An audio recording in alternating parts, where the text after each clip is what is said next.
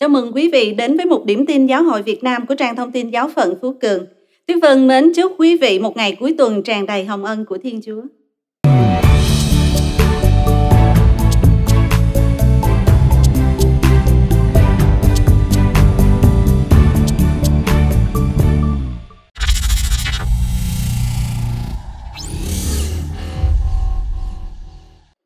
Tin Tổng giáo phận Huế Thông báo của Trung tâm Hành hương Đức Mẹ La Vang ngày 22 tháng 5 năm 2021.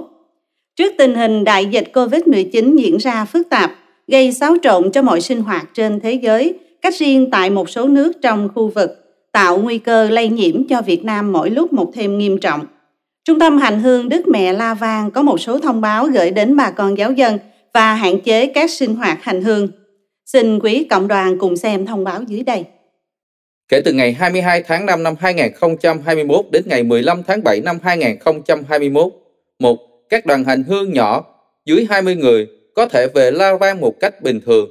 2. Các đoàn hành hương lớn trên 20 người đã đăng ký đến La Vang trong tháng 6 và tháng 7. Xin vui lòng liên lạc với cha quản nhiệm Mikae Phạm Ngọc Hải. Email trung tâm hành hương La Vang a gmail.com hoặc bhng hải 69 a gmail.com điện thoại 0935 011 371 để sắp xếp chương trình. 3. Tạm thời nhà hành hương La Vang không nhận khách lưu trú qua đêm.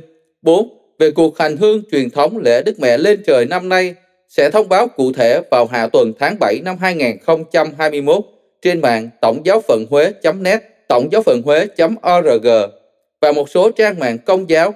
5. Bất kỳ ai vào bất cứ lúc nào về La Vang Khách hàng hương triệt để tuân thủ quy định 5K của Bộ Y tế, một khẩu trang, hai khử khuẩn, ba khoảng cách, bốn không tụ tập, năm khai báo y tế.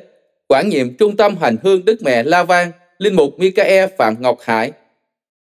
Chúng ta xin phó thác mọi sự cho mẹ La Vang để cầu xin người bầu cử cho bệnh dịch sớm chấm dứt, cho con cái muôn phương sớm trở về bên mẹ.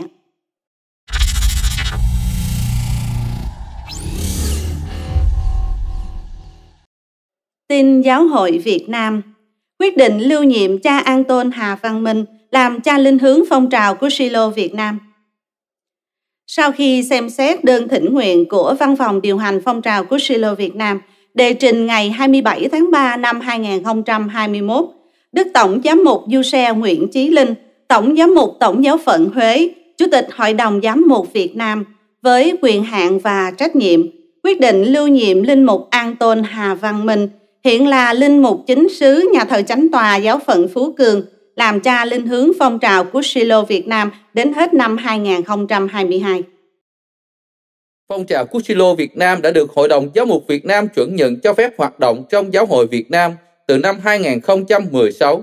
Từ ngày 1 tháng 9 năm 2016, Đức Tổng Giám mục Phaolô Bùi Văn Độc, Chủ tịch Hội đồng Giám mục nhiệm kỳ 2013 đến 2016, đã bổ nhiệm linh mục An Tôn Hà Văn Minh thuộc giáo phận Phú Cường làm cha linh hướng cho phong trào với nhiệm kỳ 2016 đến 2020.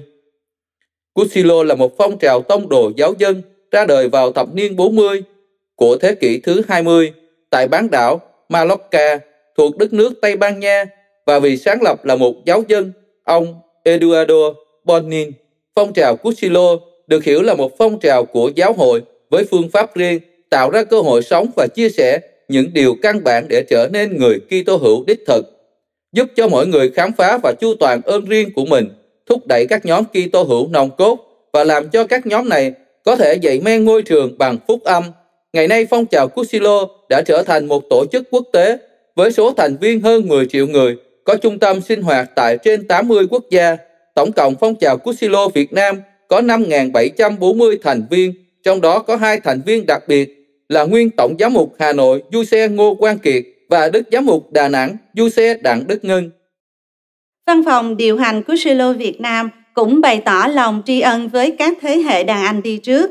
Xin cảm ơn quý anh chị thuộc dòng của Silo hải ngoại, cách riêng quý cha Linh Hướng và quý anh chị ra khơi. Xin cảm ơn tất cả anh chị em của Silo trong nước đã quảng đại dấn thân phục vụ Chúa, phục vụ giáo hội qua phong trào của Silo Việt Nam.